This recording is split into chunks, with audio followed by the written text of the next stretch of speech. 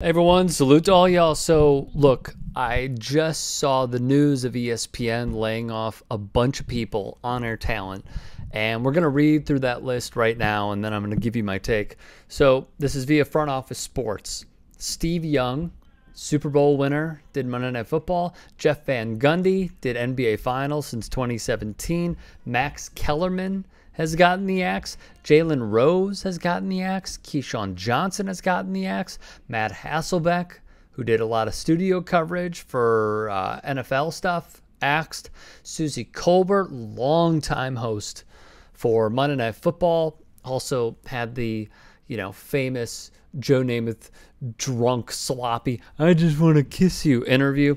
Uh, LaPhonso Ellis, he's been there a while. Todd McShay, esteemed NFL draft analyst.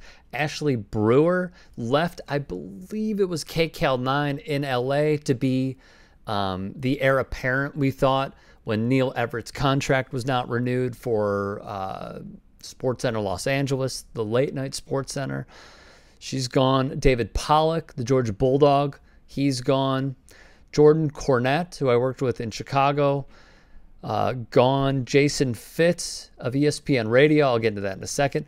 Uh, and Joon Lee tweeted that he is no longer with the company. I'm just making sure they're um, not any, any other ones. Uh, the Neil Everett's, the Rob Ninkovich's, the Chris Chelioses, their contracts were not renewed. Okay, so, and the Keyshawn J. Will and Mac show being axed.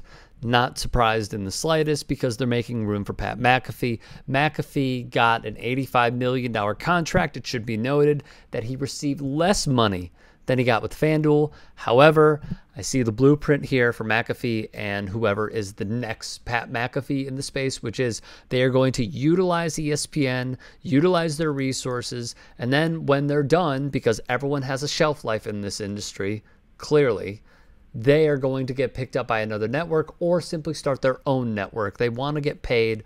They're probably going to have what I believe is more offloading of contracts that ESPN is going to pick up. Many of the things that they paid for, ESPN is going to pick up. And then they're going to follow the Meadowlark model. What I see here, unfortunately, is something that will never be ever again, which is TV money. Networks like ESPN, who pay top dollar, literally billions, for Monday Night Football. Sorry, the dogs are barking. Monday Night Football, the NBA Finals, tons of stuff. United States men's national team, on and on we go. They are putting those because live sports programming is always going to take precedent over, for example, and I'm, I'm just using them as examples. Um, Max Kellerman, uh, Stephen A. Smith, even uh, Neil Everett, what have you. On top of that, Bob Iger, who came back to Disney after about two and a half years of not being there, he said that they were going to slash um, essentially people from the roster. And he, I believe Disney put out a statement saying they're going to save about $5.5 billion since 2017. This is where we are at as an industry. It's very frustrating. Um, it's saddening. And the turn we are taking is for the worst. Sports media is evaporating before our very eyes. Essentially, what the market is saying is go out on your own, do your own thing, become a streamer, become a sports host on Twitch or Kick or, you know, Facebook gaming or you know, stream yourself playing a video game and talking about sports. Like Marcellus Wiley has done it. Uh, we've seen a few others that have branched out and done it on their own. Stephen A. Smith, a long time ago, not even a long time ago, a few months ago, said, you know, no one is safe and he doesn't feel safe. These are big names that are being cut. Um, I hate the way this industry is going. It's fearful. On the ESPN radio front, I am not surprised. Awful Announcing had a pretty good write up on how millennials and Gen Z simply are not listening to sports radio anymore. However, what I will say, while that is true, Dan Le Batard had a great take how ESPN just let radio die. And they did.